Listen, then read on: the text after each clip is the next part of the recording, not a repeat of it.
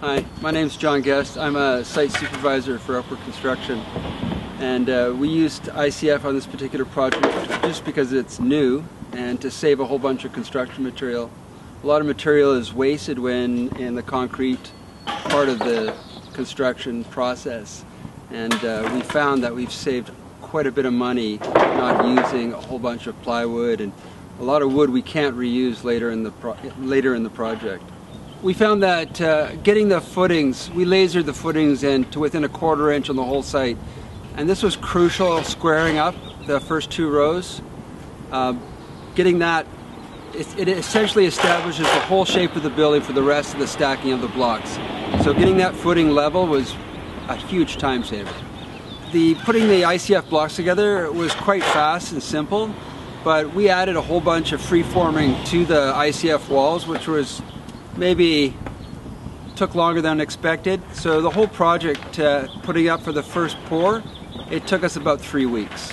So one of the interesting things was the freeforming around the uh, regular ICF blocks. The engineer designed that we need 14 inch pilaster to support all the steel up above. So we should go and look at that. That's quite interesting how that came together. This is the first pilaster that we did. You can see it's actually on the other side of a doorway, which kind of made it uh, a little bit easier to construct. We put a big panel on the back. We ran the ICF block straight through and cut a slot on this side. And we just put a straight panel on the back. We used um, coil rod and those uh, nuts and washers. We lined the inside of our, fo our form with foam to maintain the R value around the pilaster blockout.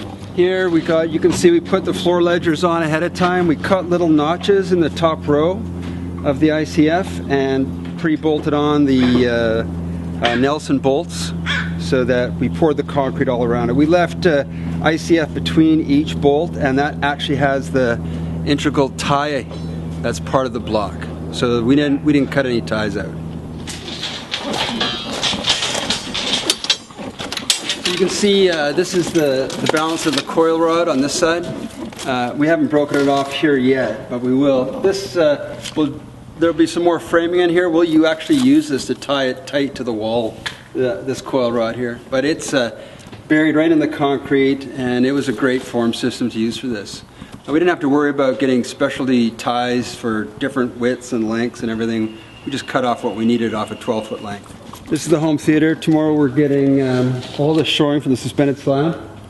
Uh, it'll be an excellent soundproof room once we're all done in here.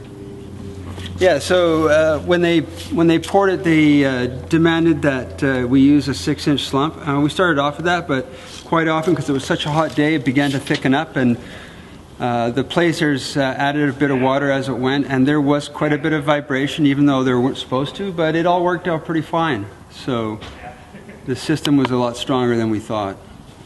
The original uh, ICF wall is here, and uh, when we built our form, we added these uh, two and a half inch styrofoam panels to the inside of the form.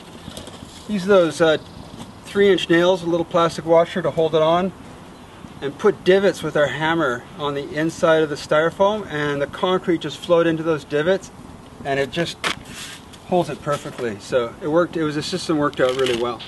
So we had coil rod going through this way because we were worried about this kind of expansion and coil rod running uh, across it.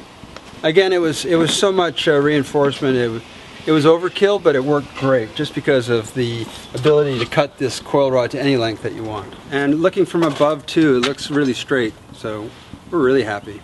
So we've got most uh, most of the uh, formwork off, but here's the last little section. These one by fours go across the joints where you start from one corner and the other and you come to a central point, the marriage line. This seemingly impossible piece, little piece of wood did exactly its job in a 14 and a half foot pour. No, not even a bit of cream came, came out. Quite amazing. So we really like ICF. We find it to be a, a very simple system to put together. The reinforcement was a breeze. We didn't have to tie or cut anything and uh, we'll definitely be using it again.